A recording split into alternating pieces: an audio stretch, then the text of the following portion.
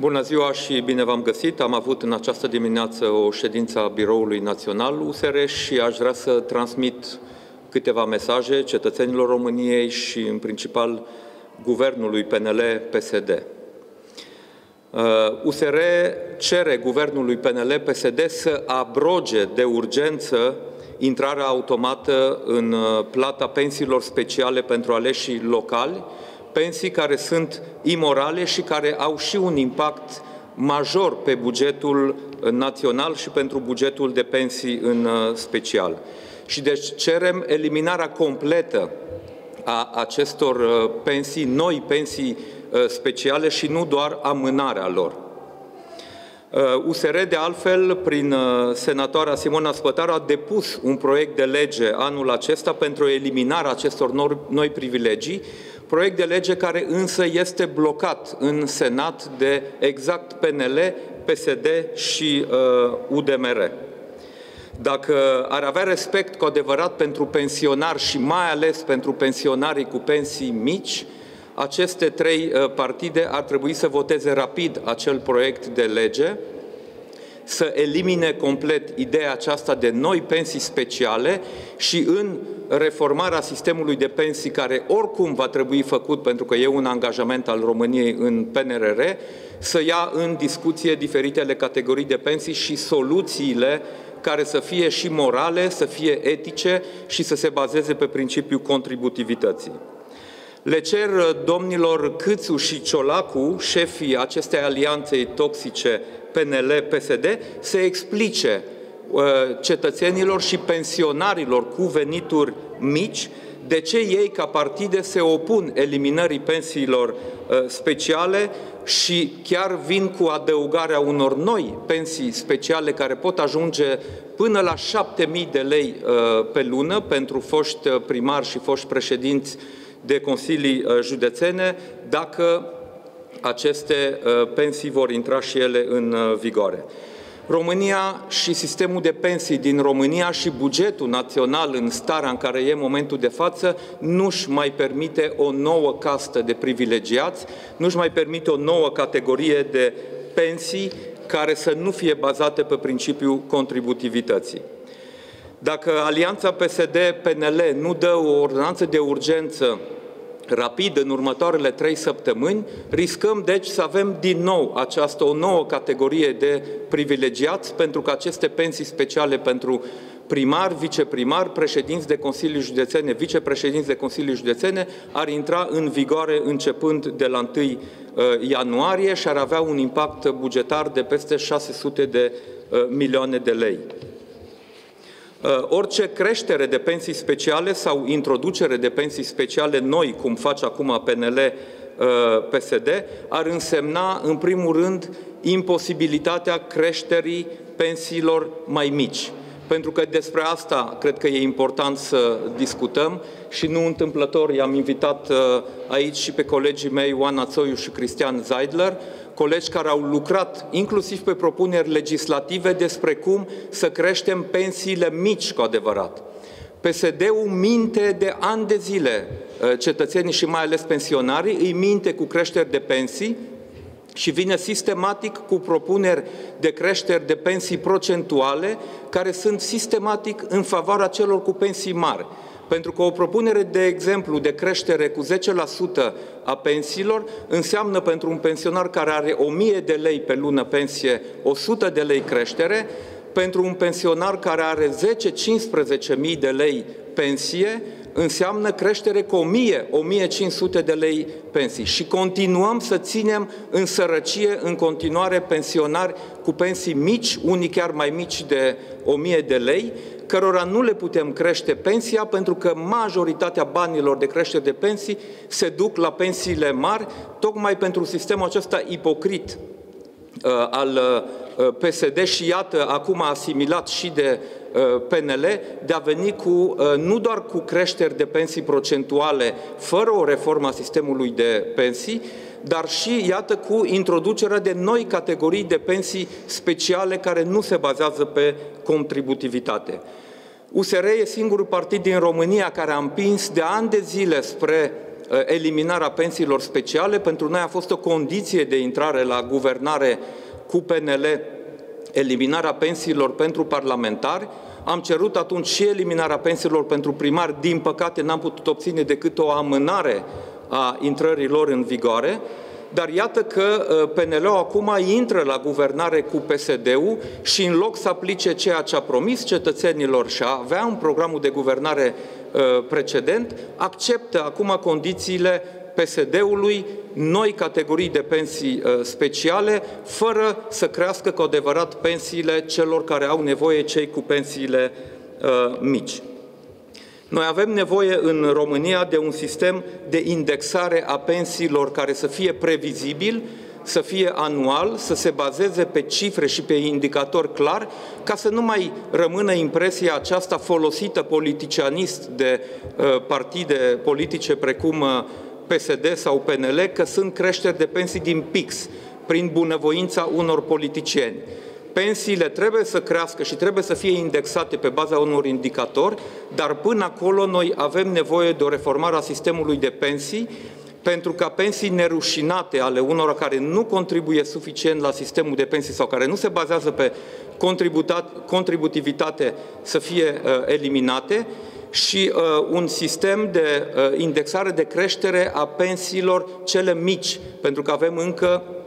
aproape un milion, dacă nu mai mult de un milion de pensionari care sunt ținuți în sărăcie cu pensii uh, care sunt sub 1100 și ceva de lei, care ar fi uh, nivelul de sărăcie din România. Acolo aștept să văd cum PNL și PSD își asumă ceea ce USR, uh, fiind la guvernare cu PNL, a negociat în Planul Național de Redresare și Reziliență, pentru că avem acolo această, acest angajament al României ca stat să reformeze sistemul de pensii. Însă în loc să vedem că acest lucru începe, iată, uh, vedem o nouă categorie de pensii uh, speciale și, o, și propuneri de măriri de pensii după același sistem uh, ipocrit, populist, de creșteri procentuale, fără să fie luate în discuțiile pensiile mici care să crească. Uh, pentru că vorbim de PNRR, iată că la sfârșitul săptămânii trecute au intrat în România 1,8 miliarde de euro primii bani europeni din Planul Național de Redresare și Reziliență, așa cum de altfel USR uh, s-a angajat. Știți că PNRR, elaborarea PNRR a fost coordonată de ministrul Cristian Ghinea din USR, uh, cu contribuția și celorlalți miniștri din guvern.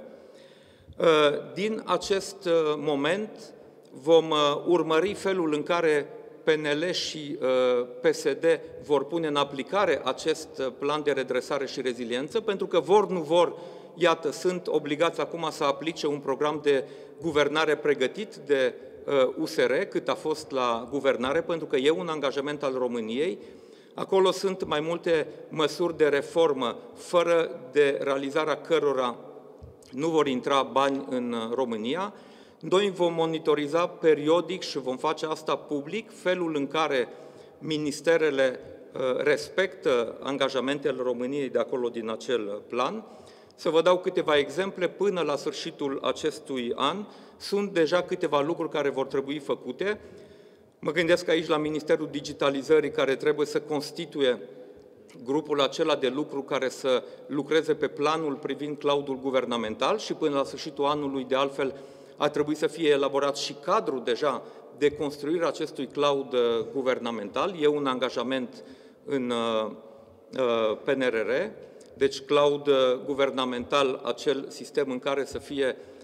stocate datele, datele publice, care apoi, sigur, pot fi folosite pentru alte reforme legate de digitalizare. Ministerul Educației trebuie să elaboreze până la sfârșitul anului programele de combatere a abandonului școlar, pentru că vor fi inclusiv resurse financiare în PNRR, dar pentru combaterea abandonului școlar, dar pentru asta trebuie să existe un plan și acesta trebuie publicat până la sfârșitul uh, anului. Și tot ca țintă, apropo de pensii, până la sfârșitul anului, Guvernul României ar trebui să instituie un comitet de monitorizare însărcinat cu revizuirea sistemului de pensii, exact ce spuneam înainte, care să facă o analiză pe diferitele categorii de pensii, să înceapă să lucreze la elaborarea unor indicatori pe baza cărora să se facă indexarea de pensii. Astea ar trebui să fie prioritățile și nu introducerea de noi categorii de pensii speciale, așa cum se pregătește PNL-PSD să o facă acum tacit prin uh, inacțiune. Dacă aveți uh, întrebări mie sau colegilor uh, mei apropo de sistemul de pensii, vă stăm la dispoziție. Credeți că ați avea susținerea parlamentară necesară pentru a face aceste modificări vis-a-vis -vis de uh, sistemul de pensii?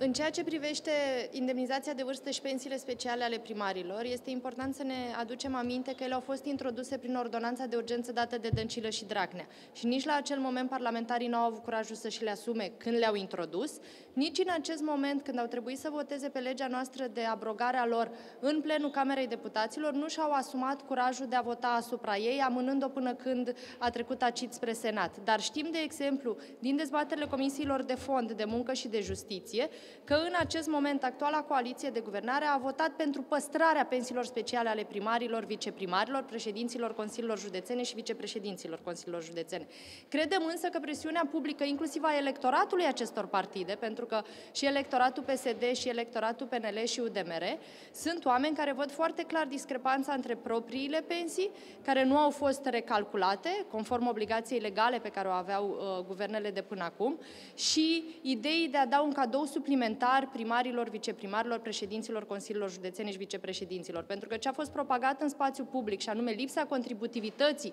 pentru aceste roluri, nu se regăsește nici în justificarea ordonanței de urgență odată cu includerea lor și nu a fost nici parte din argumentele aduse în comisiile de fond, sunt mai degrabă replici de televizor.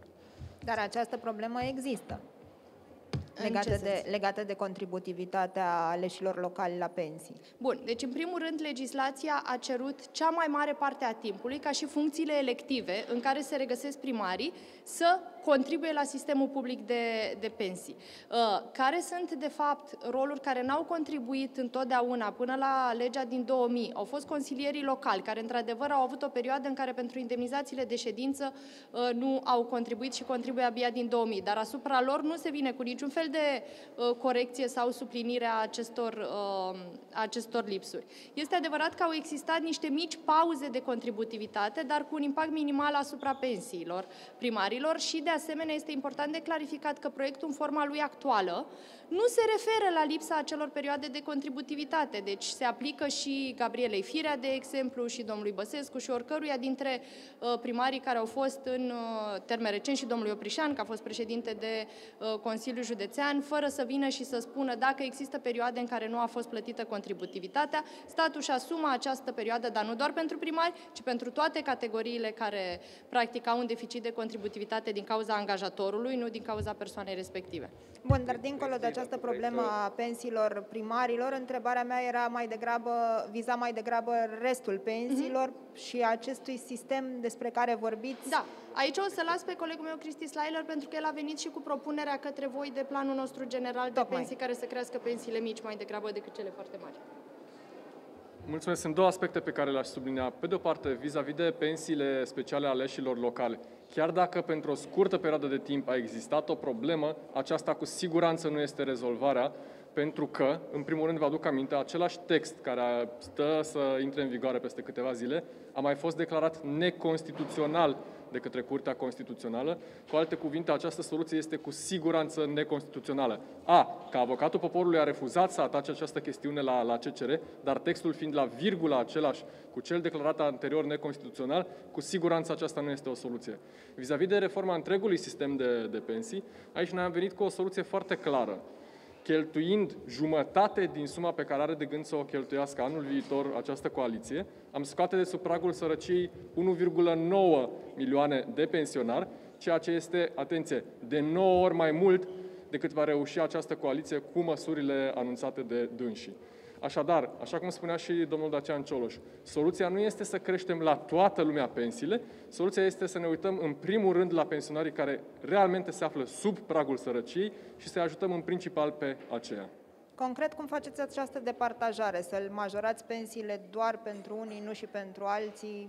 Calculul se face raportat la acel punct de pensie? Cum faceți această delimitare? Sunt două măsuri pe care noi le-am uh, propus și uh, pe care am văzut că le-au uh, preluat și alții ulterior. Pe de o parte, suplinirea venitului de la actuala pensie socială minimă de 800 de lei până la valoarea de 1100 de lei cu tichete de masă, iar mai apoi oferind o așa zisă a 13-a pensie în limbaj popular, diferențiat în funcție de nivelul de venit a fiecărui pensionar, astfel încât cumulat aceste două măsuri să ducă la o creștere a, a veniturilor minime din pensii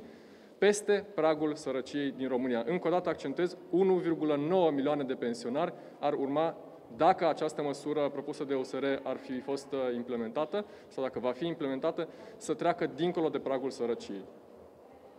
Mulțumesc. Oricum, aș vrea să le transmit celor de la PNL și PSD că acest subiect al pensiilor speciale o să-i bântuie până în momentul în care își vor asuma și prin decizie ceea ce tot cântă în campanii uh, electorale ca să dea bine la urechea alegătorilor. O să-i bântuie acest subiect, USR se va ține de acest subiect exact așa cum s-a ținut și de fără penal în funcții publice, Uh,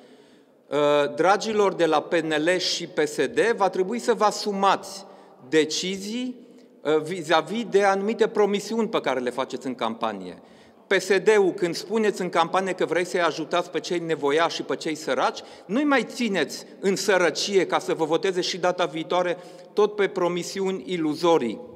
că le va crește nivelul uh, de trai. Aveți acum posibilitatea, inclusiv bazându-ne pe PNRR-ul negociat de USR, să creșteți pensiile celor nevoiași, așa cum vă spunea și uh, colegul meu uh, Cristi Zeidler. Faceți asta, nu pensii speciale pentru primari. Pot fi găsite soluții pe bază de contributivitate și pentru primar, viceprimar, pentru consiliile uh, județene, dar nu cred că uh, unul ca uh, Liviu Dragnea sau ca Marian Oprișan uh, duce lipsă exact de cei 5, 6, 7 mii de lei pe lună pensie specială după tot ce au drenat din fondurile publice cât timp au fost uh, pe pozițiile respective. Deci întoarceți-vă fața către cetățenii uh, României, dacă ați promis că veți face lucrurile mai bine la guvernare,